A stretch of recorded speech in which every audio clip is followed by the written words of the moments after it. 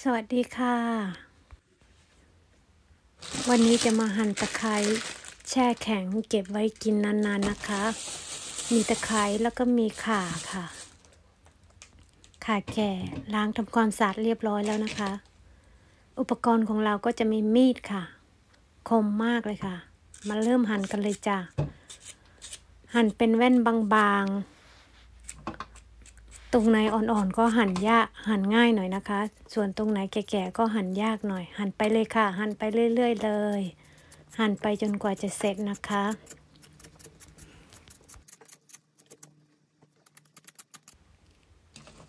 หั่นเสร็จแล้วก็ได้ประมาณนี้ค่ะ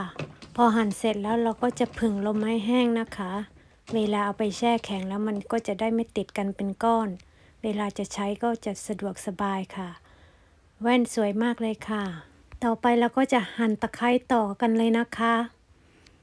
ตะไคร้ของเราสวยมากค่ะ ตัดเอาเฉพาะอ่อนๆนะคะ หั่นใช้เวลานานพอสมควรค่ะ หั่นจนนิ้วล็อกค่ะ ต้องพักบ้างหยุดบ้างนะคะ แล้วหั่นไปเรื่อยๆ ค่ะ หั่นไปจนเสร็จนะคะ เสร็จแล้วก็จะได้ประมาณนี้ค่ะ เราก็จะทำเหมือนกันนะคะ ผึ่งลมไม่แห้ง เวลาเอาไปเอาไปแช่แข็งแล้วมันก็จะได้ไม่ติดกันเป็นก้อนค่ะ บรรจุถุงเลยค่ะ เตรียมแช่แข็ง ค่ะแล้วก็บรรจุนะคะ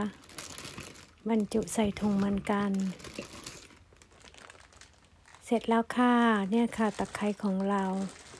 หั่นได้เท่านี้ค่ะ นิ้วล็อกก่อนต้องหยุดค่ะ